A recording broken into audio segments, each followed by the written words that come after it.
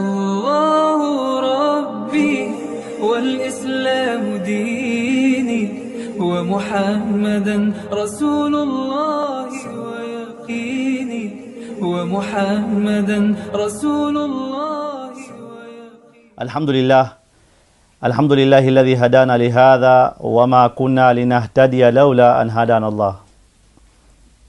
ثم الصلاة والسلام على رسول الله. وعلى آله وأصحابه ومن سلك طريقهم إلى يوم الدين وبعد ama baada ya kumhimidi mwenyezi mungu jalla fi ula muumba wetu mola wetu aliyekuwa na atakayekuwa hata milele mwenyezi mungu ambaye kwamba alimuumba binadamu na kumpa uongovu. Mwenyezi mungu ambaye kwamba aliwatuma manabii pamoja na mitume ili wawe waje wawatoe wanadamu katika giza na kuwapeleka katika nuru. Naam. Leo utazungumzia kuhusu uislamu kitengo cha kwanza tutazungumzia maana ya uislamu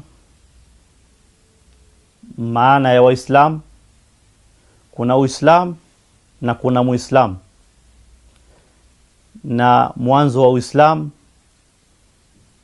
ulianzia wapi uislamu tukianza na maana ya uislamu uislamu una maana mbili maana ya kwanza ni kunyenyekea amri za muumba wa mbingu na ardhi mwenyezi mungu allah. Na maana ya pili ni amani salama kati yako na mola wako. Ndio maana ya uislamu. Na hii tafsiri ni tafsiri ambayo kwamba wanayajua watu wote watu wa dini zote. Tukiangalia katika bibilia imetafsiriwa hivyo hivyo kwenye ukurasa ukurasa elfu mbili mia mbili kumi na sita utapata imetafsiriwa kwa usahihi maana ya uislamu. Uislamu neno la kiarabu linalomaanisha kujisalimisha kwa mapenzi ya mwenyezi mungu imani katika allah tazama elohim kwamba ni mungu pekee. Uislamu ni dini iliyoenea duniani hiyo ndio maana ya uislamu. Uislamu maana yake ni kunyenyekea na kujisalimisha kwa mapenzi ya mwenyezi mungu. Ndiyo maana sahihi ya uislamu. Turudi tafsiri ya maana ya muislamu. Muislamu ni mtu aliyejitoa na kuwa tayari kunyenyekea amri na hukmu na sheria za mwenyezi mungu. Muislamu ni mtu ambaye kwamba kawa tayari kuwa chini ya sheria na hukumu za mwenyezi mungu. Ndio maana ya, muislamu. Na tafsiri hii hatutakomea hapa tu. Ndani ya qurani mwenyezi mungu amekariri. Ukisoma katika qurani sura ya pili aya mia thalathini mpaka thalathini na mbili allah subhanahu wataala anasema waman yarqaba millata ibrahima illa man safiha nafsah walaqad istafainahu fi dunya wa innahu fi lakhirati lamina salihin. Idh qala lahu rabbuhu aslim. Hapa ndio kwenye mada yetu. Ibrahim anaambiwa na mola wake nyenyekea jisalimishe aslim. Imetumika neno aslim. Idh qala lahu rabbuhu aslim. Ibrahim anaambiwa nyenyekea. Ibrahim akasema nini? Aslamtu lirabi lalamin aslamtu lirabi lalamin aslamtu lirabi lalamin yaani maana yake nimenyenyekea kwa mwenyezi mungu muumba wa mbingu. Mola wa walimwengu mzima. Kwa maana ya uislamu ni kunyenyekea. Na hatokomea hapa. Pia ukiangalia kwenye qurani sura ya tatu aya sitini na nne tafsiri iliyotumika ni hiyo hiyo. Mwenyezi mungu anasema waiteni watu wa kitabu. Waambieni taalau ila kalimatin sawain bainana wa bainakum alla nabuda illa Allah, njooni katika neno lilo sawa baina yetu na baina yenu, tusimwabudu isipokuwa Mwenyezi Mungu, wala nushrika bi, wala nushriku bihi shay'a, wala tusimshirikishe Mwenyezi Mungu, wala yattakhidhu ba'duna ba'dan arbaba min duni llah, wala tusiwafanye wengine kuwa waungu badala ya Mwenyezi Mungu. Mwisho wa aya Mwenyezi Mungu anasema fa in wakikengeuka semeni, shuhudieni ya kuwa sisi ni Waislamu, tumenyenyekea amri na hukmu na sheria za Mwenyezi Mungu. Ndio maana ya Muislamu. Na tafsiri neno Uislam ama Islam ama Alislam limetokana na moja katika jina za Mwenyezi Mungu ama sifa za Mwenyezi Mungu. Ukisoma katika sura ya hamsini na tisa sura ya hamsini na tisa ukiangalia katika aya ya ishirini na tatu eh, huwa, huwa Allahu alladhi la ilaha illa huwa almaliku qudusu assalamu almuminu almuhaiminu alazizu aljabaru almutakabiru Katika hizi sifa ukiangalia ni sifa masha Allah, sifa kubwa kubwa, sifa nzuri. Katika hizi sifa za Mwenyezi Mungu imekuja neno assalam, mtoa, mtoaji wa salama, mtoaji wa amani. Ndiyo maana ya neno alislam, assalam imetokana na neno assalam na Uislamu sio dini iliyokuja na Mtume Muhammadi sallallahu alaihi wa alihi wasallam.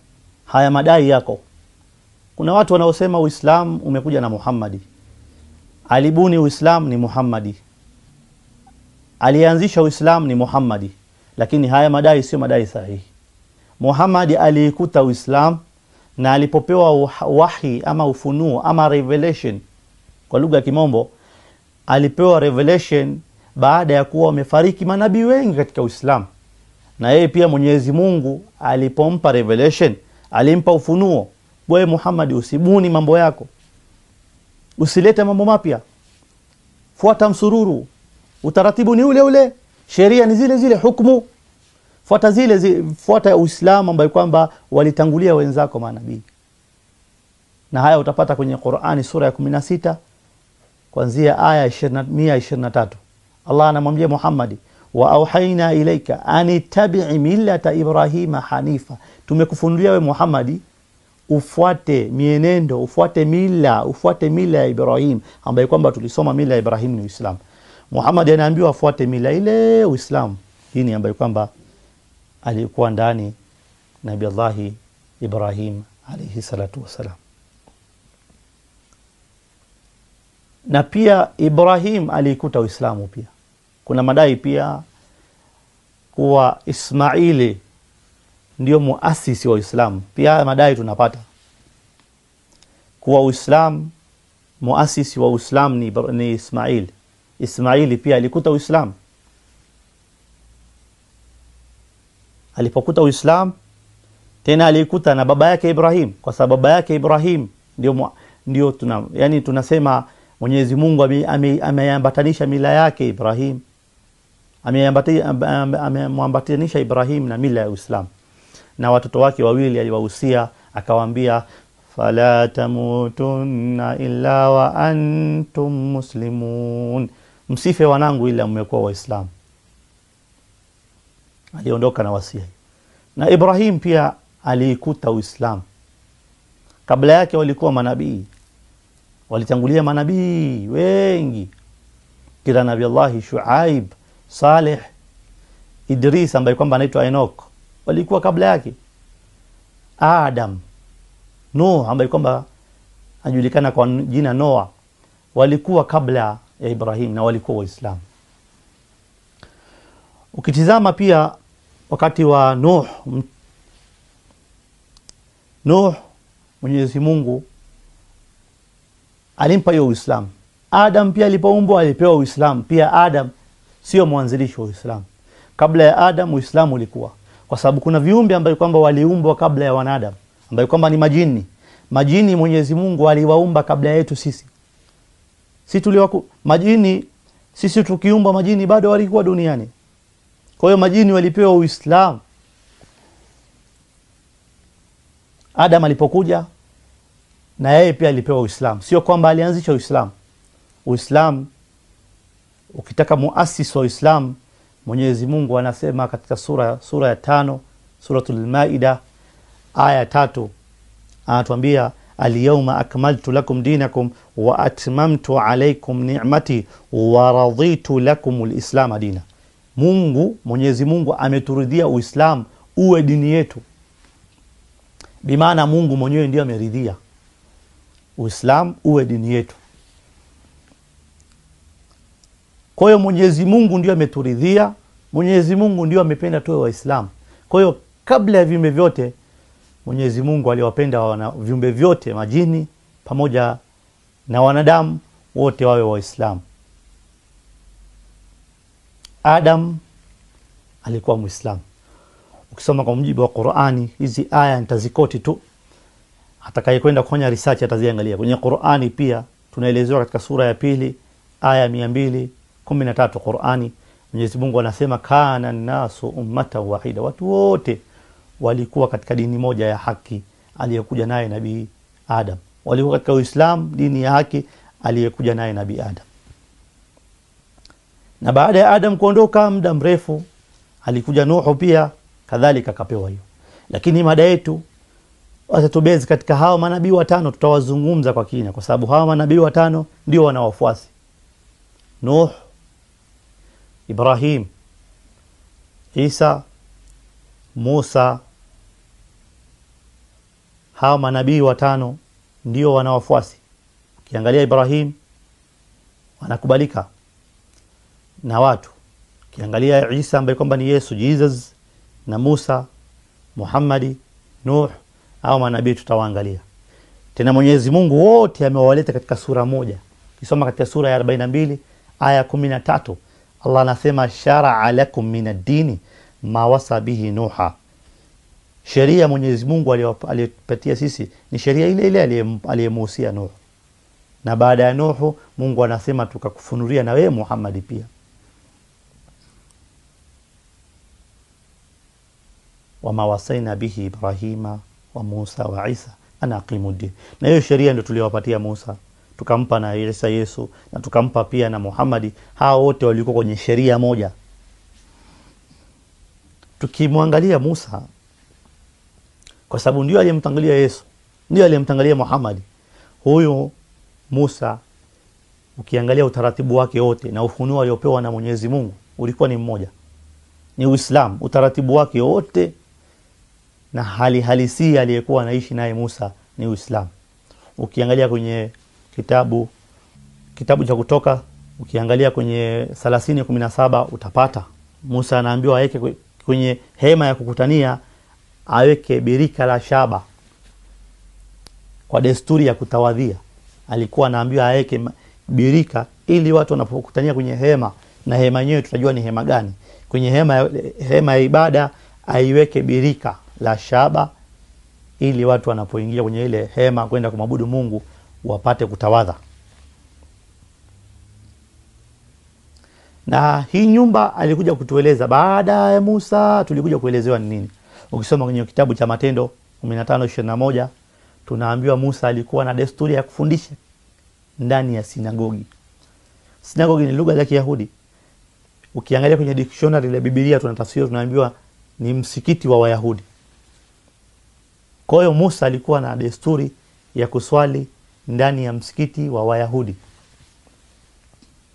Na pale ndio anaambiwa aweke birika la shaba kabla ya watu kuingia kwenye ile msikiti kwa sababu yeye alikuwa myahudi na wayahudi walijenga msikiti. Anaambiwa kabla ya wayahudi kuingia pale watawadhe kisha waingie.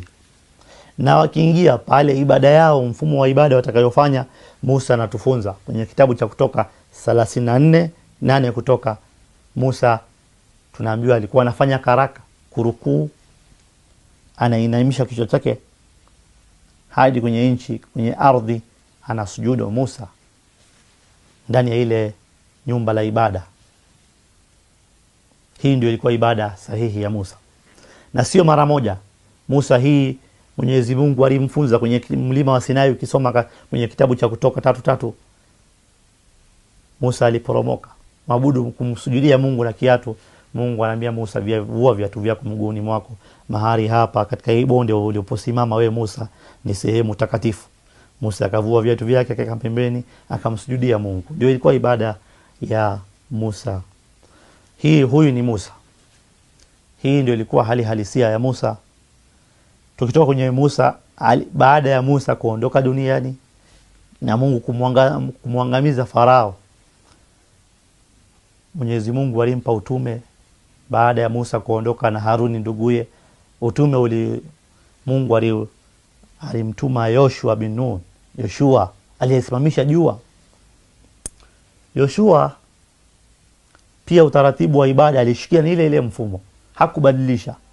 Yoshua mungu alimchagua alimchagua ili awe amiri aljeshi na mungu akampa utume na unabii.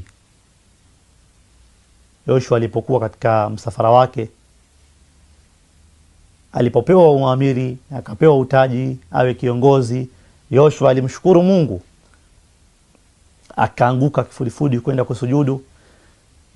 Anaongea na mungu anamshukuru mungu. Mungu anaambia hapana yoshua vua viatu vyako miguuni mwako. Mahali maana mahali hapa usimamapo wewe yoshua ni mahali patakatifu. Utaangalia kwenye yoshua kitabu cha yoshua kitabu cha yoshua tano aya yake kuanzia aya kumi na nne.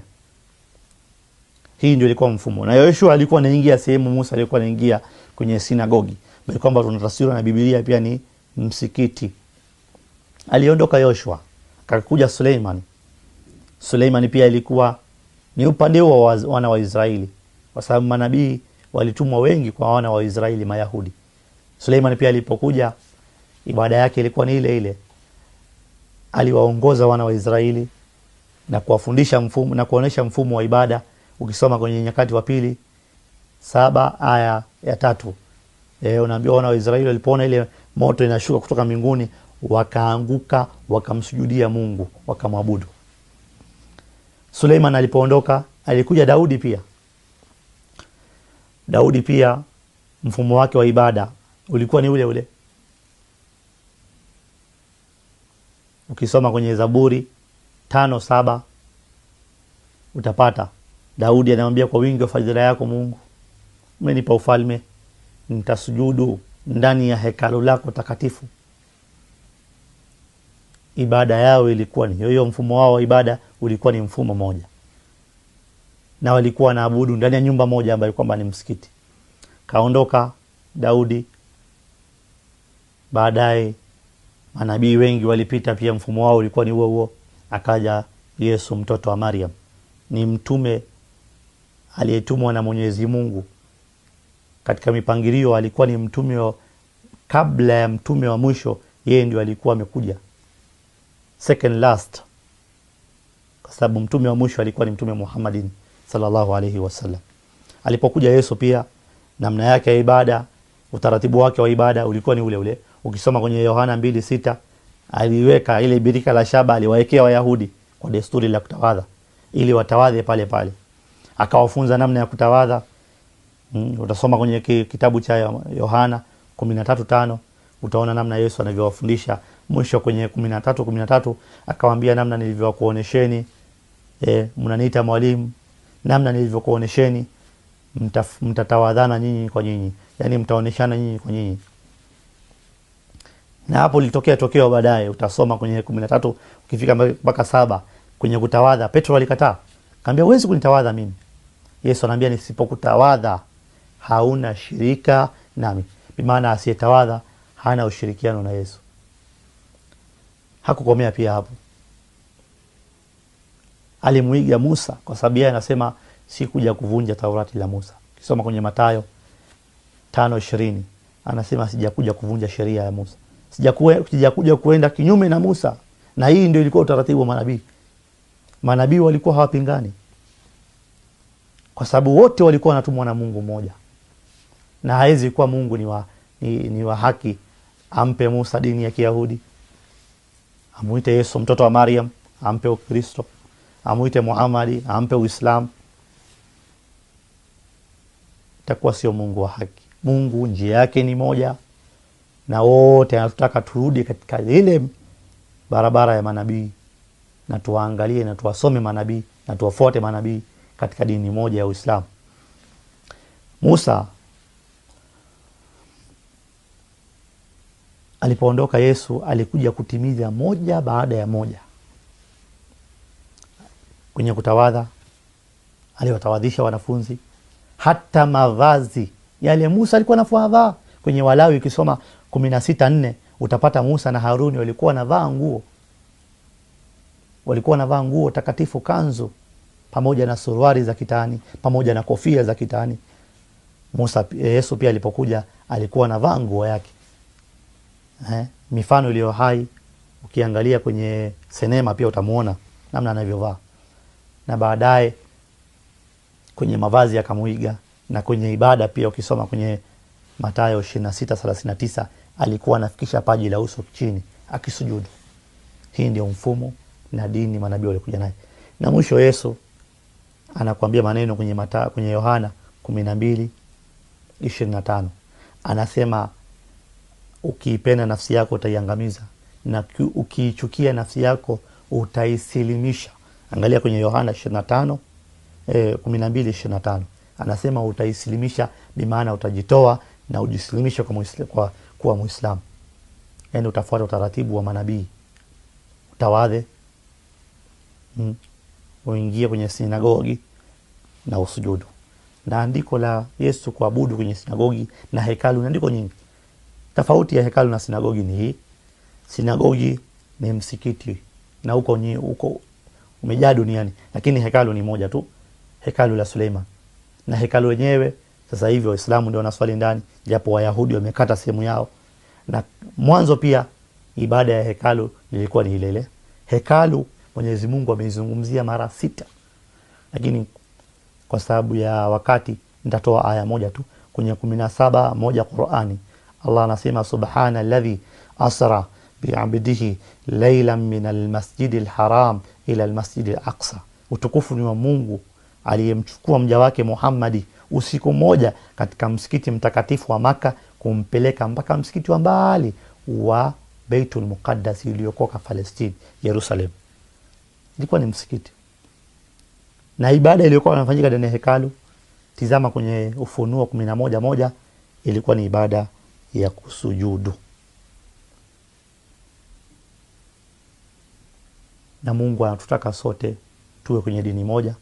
Mpaka hapa nakomea, nasema assalamu alaikum warahmatullahi wabarakatuh. ربنا الله ربنا الله ربنا الله الله ربي والإسلام ديني ومحمدا رسول الله ويقيني ومحمدا رسول الله